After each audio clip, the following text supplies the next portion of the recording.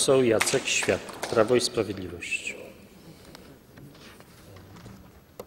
Panie Marszałku, Wysoki Sejmie, pragnę przedstawić stanowisko Klubu Parlamentarnego Prawo i Sprawiedliwość w sprawie rządowego projektu ustawy o zmianie ustawy o rencie socjalnej i ustawy o świadczeniach opieki zdrowotnej finansowanych ze środków publicznych.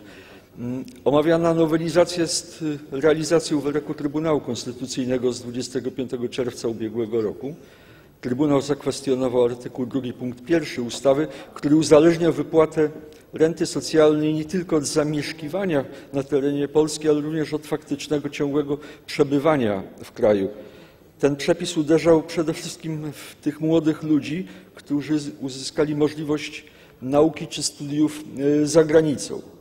Ustawa precyzuje także, jakie rodzaje przychodów uzyskane za granicą stanowią podstawę do zawieszenia wypłacania renty. Zachowano tu analogię do uzyskiwania przychodów ze źródeł krajowych. Nawiasem mówiąc, wymóg ciągłego przebywania w kraju w dobie otwartych granic y, był nieżyciowy i w istocie niemożliwy do wyegzekwowania. W takim ujęciu zarówno wyrok Trybunału, jak i zapisy nowelizacji ustawowej należy ocenić y, pozytywnie. Y, Przy okazji jednak chcę zwrócić uwagę na kilka wątpliwości.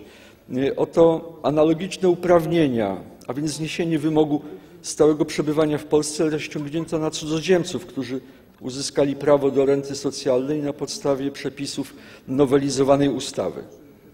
To rozszerzenie motywowane jest zasadą sprawiedliwości społecznej oraz normami niedyskryminacji obowiązującymi w Unii Europejskiej.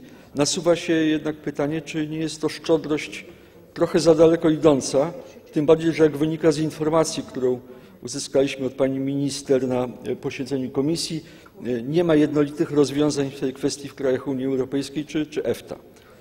Pojawia się bowiem problem weryfikacji uprawnień. Podstawowym warunkiem otrzymania renty jest zamieszkiwanie w Polsce. Ustawa i nowelizacja nie precyzują jednak, jak ten termin rozumieć. Przyjmuje się intuicyjnie, że chodzi o utrzymywanie w Polsce y, centrum życiowego, na przykład miejsca zamieszkania czy, czy przechowywania rzeczy osobistych. Zresztą Podobnie to ujął Trybunał Konstytucyjny w swoim mm, uzasadnieniu y, orzeczenia. Y, Nie jest więc łatwo stwierdzić, czy osoba otrzymująca rentę nie zmieniła planów życiowych i nie zamierza przenieść centrum życiowego za granicę. Tym bardziej jest to trudne y, do weryfikacji w przypadku cudzoziemców. Podobny problem dotyczy przychodów, które powodują zawieszenie renty. Y, Ustawa mm, zobowiązuje świadczeniobiorcę do niezwłocznego powiadomienia organu rentowego o uzyskaniu przychodów skutkujących zawieszeniem renty, no i za niezgłoszenie tego faktu grożą sankcje karne. Egzekwowanie tego przepisu jest możliwe, gdy w grę wchodzą dochody uzyskiwane w kraju z legalnych źródeł. Gorzej, gdy są to dochody uzyskiwane na czarno. No, w sytuacji, gdy świadczeniobiorca przebywa za granicą, ta weryfikacja uprawnień y, staje się w istocie fikcją i, i nie ma za bardzo pomysłu, jak ustrzec się przed, nad, przed nadużyciami. Y, Problemem jest także określenie skutków wprowadzenia nowelizacji. Ministerstwo Pracy i Polityki Społecznej nie ma danych, ile osób pobierających rentę przebywa czasowo za granicą. Nie wiadomo, ilu osobom odmówiono prawa do renty z powodu przebywania poza Polską. Dotyczy to zarówno obywateli polskich, jak i cudzoziemców. Y, Dodatkowe koszty mogą się tu więc wahać od kilkuset tysięcy do kilku milionów y, rocznie. To oczywiście nie są wielkie pieniądze w skali kraju i może ktoś powiedzieć, że nie ma o co kruszyć kopii, Mm, ale chodzi jednak o, o, zasadę.